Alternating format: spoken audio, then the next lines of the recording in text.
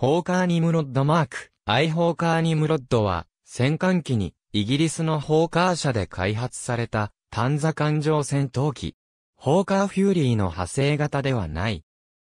フェアリーフライキャッチャーの後継艦上戦闘機を求める CON21、26が1926年に発行されると、ホーカー社は自社開発した空冷星型ブリストルマーキュリーエンジン装備の単座艦上戦闘機原型機フープのエンジンをロールスロイスの新型水冷エンジンに置き換えることを考えた。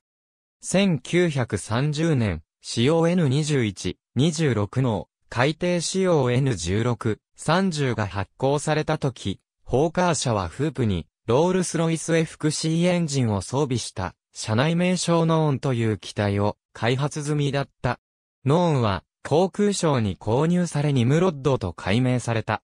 排気管延長、上、翼と後部胴体内部への浮き袋装備、ケストレルムスエンジンへの換装などの解説系が行われた。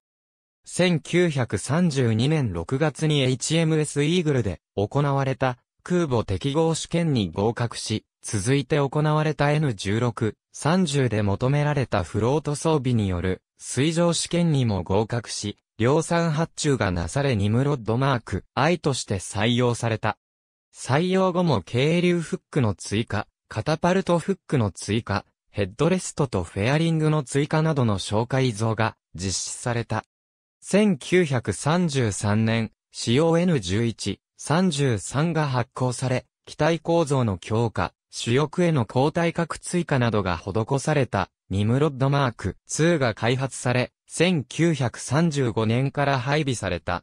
後に、マーク I も含めて、ケストレル V エンジンへの換装、垂直安定板の面積拡大などが施された。1932年6月、HMS グローリアスの第408飛行隊と HMS イーグルの第402飛行隊が、フェアリーフライキャッチャーからニムロッドマーク I に機種改編した。1933年の艦隊航空隊の改編成により、ニムロッドマーク I は HMS カレージャスの第800中隊、HMS フューリアスの第801中隊、HMS グローリアスの第802中隊に配備された。